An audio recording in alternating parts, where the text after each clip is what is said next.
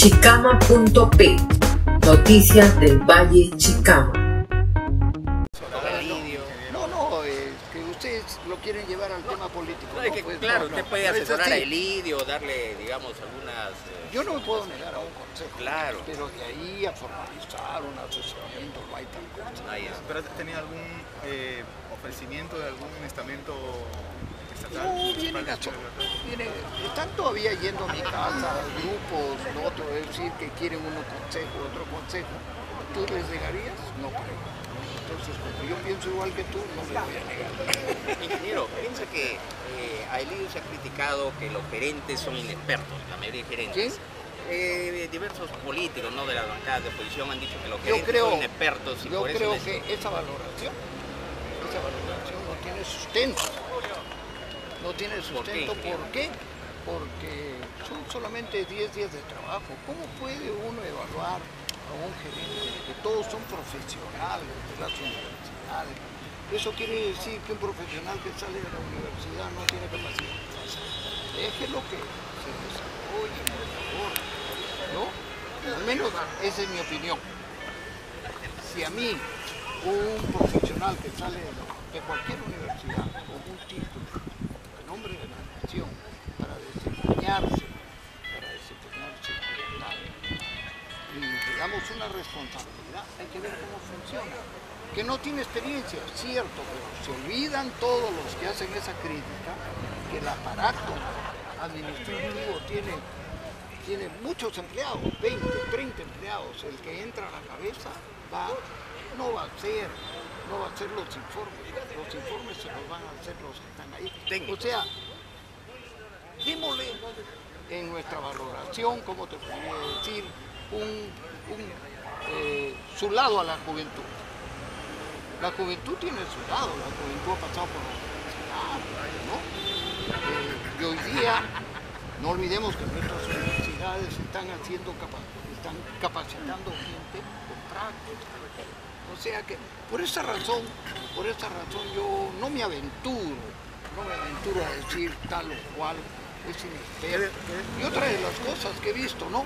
Que son inexpertos y, los otros son apristas. Oye, ¿qué pasa? Ahí estamos haciendo discriminación política, porque eh, ¿qué piensa la gente? no? Unos son inexpertos, otros son apristas. Y por ser inexpertos y por ser apristas hay que descalificarlos. No, lo que pasa es que a veces la población Eso ha que- un poco de... Está bien. No siga la continuidad, Correcto, ¿no? Correcto. Eso es lo que dices tú, pero eso no es lo que piensa la población. Tú eres una mujer inteligente, preparada, profesional, pero la gente que lee, no. Es como si yo a alguien del, al- al- a alguien del comunismo le dijera por ser comunista, es comunista.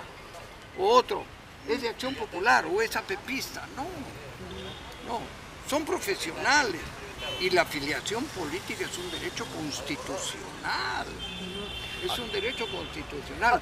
Que pase el tiempo, que pase el tiempo, cuando el quehacer público sencillamente eh, ponga, ponga, vamos a decir, en análisis cualquiera de las administraciones, después de eso, vamos a decir en forma peyorativa, ¿esa pepista? No, pues. Ahora, No, pero el manual de organización y funciones, ¿para qué fue creado en todo caso? Porque ahí hay ciertas pautas que se deben bien. cumplir. El manual de organización y funciones es para toda la institución. Vamos a decir, gerencia, no, gerencia de desarrollo urbano. Muy bien. ¿Cuántos hay en la gerencia de desarrollo urbano? Yo te aseguro que vas a encontrar por lo menos como 50. Y ahí vas a encontrar arquitectos, ahí vas a encontrar ingenieros. Y el único que se cambia es el cargo de confianza. Pero cuando, cuando, ¿cómo te podría decir? Cuando el presidente Ollanta coloca, ¿cómo te puedo decir? Un abogado de, minister- de ministro de Defensa, ¿está descalificado? No, pero, pero, pero, pero, pero, entonces, ¿para qué se creó este manual? Para que no se cumpla. el manual se crea para que funcione el órgano.